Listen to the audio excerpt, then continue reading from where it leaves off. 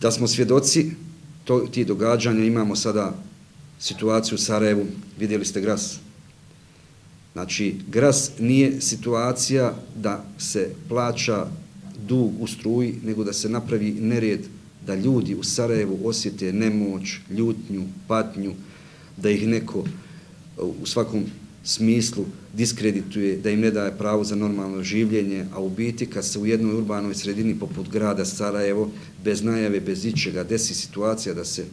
zaustave sva te ovaj e, komunikacije, to se u krivičnom zakonu Bosne i Hercegovine zove terorizam, a zato još niko nije odgovarao. Ja neću reći da su radnici grasa teroristi, teroristi ili neko drugi tamo, a očito da i ovo treba neko da ispita i da u narednom periodu se bavi tim stvarima. Uh,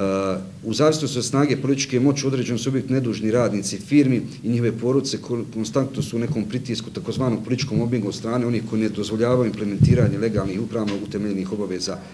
i zadača. Ne zaboravimo da je u okviru, između ostalo u okviru ovog haosa i najnedužniji dio društva doveden u nezahvalnu situaciju, pa smo vidjeli da, ovaj, e, da je Ministarstvo obrazovanja nauke i i mladih kantona Sarajevo djeci i roditeljima se općilo kako se nastava mora odvijati u nekom izmijenjenom režimu iz razloga što nema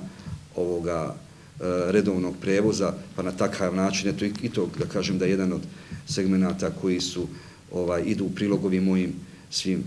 izjavama. Mi ste svjedoci, šestorka je danas u Briselu, otišli su, ništa su saglasili, nisu, nemaju nikakvih dogovora. Ja mislim da to je samo mlačenje prazne slame, mazanje očiju građanima Bosne i Hercegovine, a oni ništa tu niti mogu dogovoriti, niti šta mogu uraditi.